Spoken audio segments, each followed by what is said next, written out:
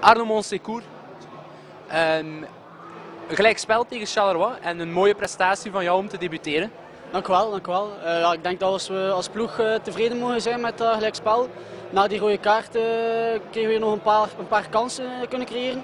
Maar al bij al mogen we wel tevreden zijn, vind ik.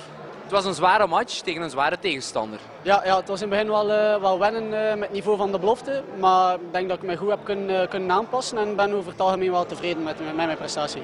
Dat mag je zeker zijn. Hè? Ik hoorde velen zeggen dat jij een van de lichtpunten was vandaag. Dat is fijn om te horen. nee, kijk, ik heb gewoon mijn best gedaan en ik ben heel tevreden over mijn prestatie. Vertel eens, want je bent eigenlijk nog maar sinds kort lid van de A-kern. Hè? Ja, wel, uh, zit vooral zo met school uh, een beetje de combinatie. Dat het moeilijk is om af en toe uh, mijn eerste ploeg te trainen.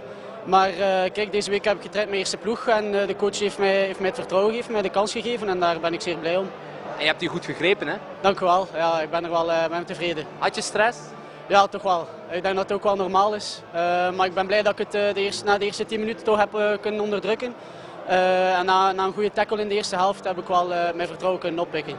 De reguliere competitie zit erop. We moeten ons nu richten op play-off 2. En daar liggen misschien wel mogelijkheden voor jou en het team.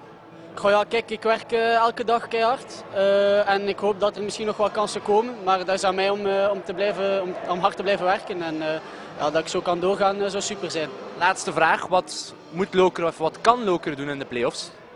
Ik hoop gewoon een goede prestatie ook in de play-offs. En dat we nu ook getoond hebben tegen Charleroi dat we, dat we wel klaar voor zijn. En ik denk als we op dit elan kunnen voortgaan, dat dat wel goed zou zijn. Dank u wel, Arno Monsecourt. Super.